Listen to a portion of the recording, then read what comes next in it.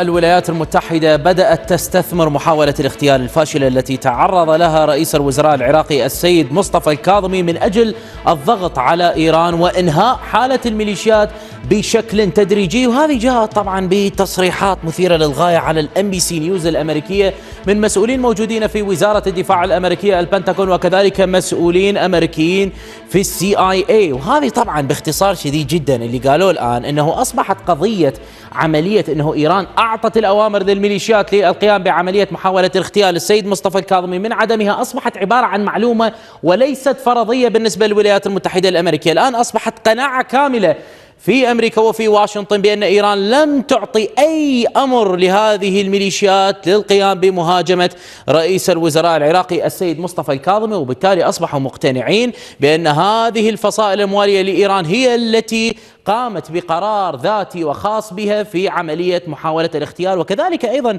فتحت عملية نقاشات واضحة جدا في الداخل الأمريكي والآن بدأوا يتحدثون بأنه على السي آي إي أن يساعد المخابرات العراقية بشكل أكبر وأن يصير تعاون من أجل حماية كبار الشخصيات مثل السيد مصطفى الكاظمي أو الوزراء اللي ممكن أن يستهدفون من قبل هذه الميليشيات خاصة وأن هذه الميليشيات أصبحت معزولة والمعلومة صعب جدا الحصول عليها خاصة وأن إيران الآن أصبحت على ما يبدو بالنسبة للولايات المتحدة الأمريكية منقطعة نوعا ما في ظل محاولة الاغتيال التي نتحدث عنها الآن. وبالتالي هذا طبعا كله صار بسبب وبعد عملية الاغتيال اللي صارت في فترة الرئيس الأمريكي السابق دونالد ترامب آه، التي اغتال فيها الجنرال قاسم سليماني وكذلك أبو مهدي المهندس. ولكن على الرغم من أن هذه القصة اللي نشرت بال NBC News والتصريحات من مسؤولين ال CIA ووزارة الدفاع الأمريكية تبرئ نوعا ما إيران في هذه القصة إلا أن مسؤولين في ال CIA آخرين وصرحوا عن أسمائهم بشكل مباشر قالوا أن إيران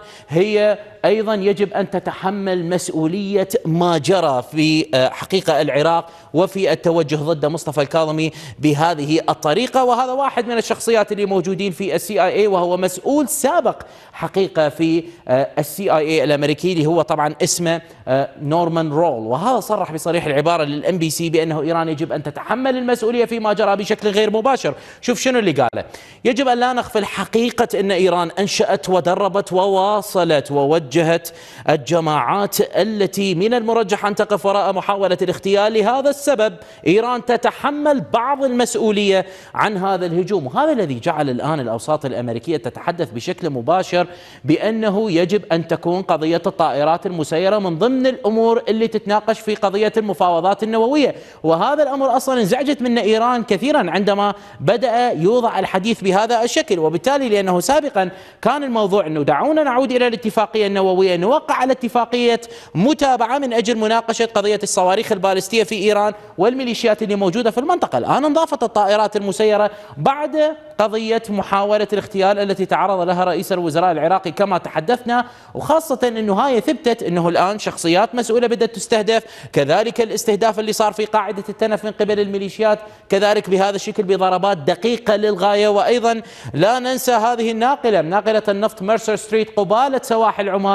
التي طبعا ضربت بهذا الشكل وقتلوا ثلاثة من طاقم آه هذه الناقلة والكثير من الحوادث الأخرى من ضمنها طبعا المنشآت النفطية اللي موجودة أرامكو في السعودية. فلذلك الطائرات المسيرة أصبحت خطرة للغاية والأمريكان يريدون يستغلون هذه القضية من أجل إيجاد عملية ريستريكشنز وقيود على هذه الطائرات المسيرة بكل تأكيد. والآن هذه القضية طبعا الإيرانيين غير راضين عليها لا يريدون مناقشة الميليشيات ولا الطائرات المسيرة ولا الصواريخ البالستية بأي شكل من الأشكال على الولايات المتحدة الأمريكية أن تلتزم وتعود إلى الاتفاقية النووية وترفع جميع العقوبات. ولكن بايدن اتخذ خطوة مثيرة للغاية في ظل هذه التطورات وصدر هذا البيان الذي ترونه من البيت الأبيض وهو بصريح العبارة يجعل إيران في موقف صعب جدا وتحت المطرقة وإيران لن تتمكن من بيع قطرة نفط واحدة إذا ما تم تطبيق ما تم وضعه هنا في هذا البيان. البيان هذا باختصار اللي اجى من بايدن وما قاله بايدن بأنه العالم كله الآن هنالك إمدادات نفط كافية لكل دول العالم من دون الحاجة لشراء ولا قطرة نفط من إيران. النفط اللي موجود في إيران إلى دول العالم لا يزيد ولا ينقص أي شيء بالنسبة لدول دول العالم. وهذه طبعا الآن الولايات المتحدة الأمريكية هي مجبرة كل ستة أشهر أن تبلغ العالم ودول العالم حول طبيعة الإمدادات النفط هل نحن بحاجة لإيران؟ هل نحن بحاجة إلى إمدادات من النفط يمينا أو شمالا؟ لازم يطون تقرير على هذا الأساس. ولكن الآن مبدئيا هو وضع هذا البيان وطبعا هذا البيان هو موجه بشكل مباشر إلى الصين لأنه الصين هي الدولة أكثر دولة تشتري النفط من إيران رغم كل قضية العقوبات التي نسمع بها. طبعا هم الآن يشترون بآخر تقرير من رويترز نشر نصف مليون برميل نفط من النفط الإيراني يوميا خلال الثلاثة أشهر الماضية وبالتالي واضح جدا بأن بايدن يريد أن ينقض على هذه النسبة الكبيرة جدا وهذه الكمية الكبيرة جدا من النفط اللي تساعد إيران كثيرا في طبيعة العملة الصعبة وفي طبيعة بيع النفط وعلى المستوى الاقتصادي لكي يتمكنوا من التنفس اقتصاديا. الآن البعض قد يعتقد بأن الصين ممكن أن لا تتزن في طبيعة بيان بايدن. كثيرة هي بيانات بايدن لن تغير شيئا ولكن المثير بأن هذا البيان هو يأتي آه، قبل لقاء مهم جدا بين الطرفين بين بايدن وبين الرئيس الصيني. يوم غد هنالك لقاء مهم جدا بين الطرفين وستكون هذه القضية هي قضية أساسية وراح يطلبون من الصين أن تلتزم في قضية عدم شراء النفط من إيران. وهذه طبعا يجب أن ننتبه أيضا بأن الصينيين نوعا ما وضحوا وكانت هنالك الكثير من المؤشرات بأن الصين ممكن جدا أن تلتزم بقضية ما يتفقون به مع الولايات المتحدة الأمريكية خاصة إذا ما نظرنا إلى آخر مثال لهذه الناقلة النفطية اللي هي قامت الدنيا ولم تقعد عليها بين الولايات المتحدة الأمريكية وإيران هذه الناقلة النفطية الفيتنامية اللي كان بها 700 ألف برميل من النفط الإيراني والتي عادت طبعا إلى السواحل الإيرانية وكانت عليها أكثر من قصة. ولكن قبل أن تحدث هذه الأحداث هذه الناقلة كانت موجودة أمام الصين لمدة ستة أسابيع. توقفت يحاولون بيع قطرة من السبعمائة ألف برميل نفط إيراني وبالتالي في نهاية المطاف الصينيين لم يشتروا شيئا ورفضوا هذه الناقلة وعادت الناقلة وحدث ما حدث وهذا يوضح بأن الصينيين فعلا سيلتزمون وسيتفادون الكثير من طبيعة العقوبات التي ممكن أن تأتي تجاههم بشكل مباشر. وهذه طبعا ستضع أيضا إيران في موقف بأن عليها أن تستغني عن الميليشيات بشكل أو بآخر وأن عليها أن تخضع نوعا ما إلى الولايات المتحدة الأمريكية في هذا الصدد. وطبعا يجب أن ننتبه في قضية الميليشيات وعندما نتحدث عنها بأن السعودية الآن دخلت على الخط في معادلة تفكيك الميليشيات اللي موجودة في المنطقة خاصة بعد هذا اللقاء اللي صار يوم أمس. بين آه، آه، المسؤول الخاص ورئيس جهاز الاستخبارات والمخابرات السعودية بلقاء مع رئيس المخابرات السورية لنظام بشار الأسد. التقوا بهذا الشكل وهذا اللقاء أصلا يأتي بعد ثلاثة أيام فقط من عملية اللقاء اللي صار بين الرئيس السوري بشار الأسد ووزير الخارجية الإماراتي. واضح طبيعة ترتيب أوراق كبيرة جدا ضد الميليشيات تحدث الآن في سوريا في طبيعة الضغط الأمريكي الذي تحدثنا عنه.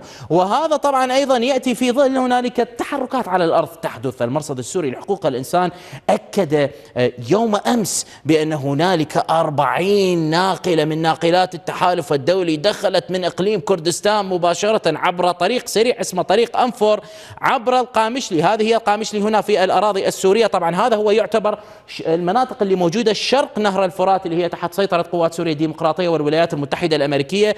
هذه الشاحنات هي من المواد اللوجستية والمعدات التابعة للتحالف الدولي والأمريكية. طبعا دخلت بهذا الشكل تقريبا إلى الحسكة اللي موجود بها طبعا التحالف الدولي والقوات الأمريكية بشكل كبير. وليس هذا فحسب حسب بل إنه كانت هنالك أيضا 25 ناقلة أخرى للتحالف الدولي يوم 9 2021 أيضا دخلت بنفس الطريقة بنفس الاتجاه إلى الحسكة.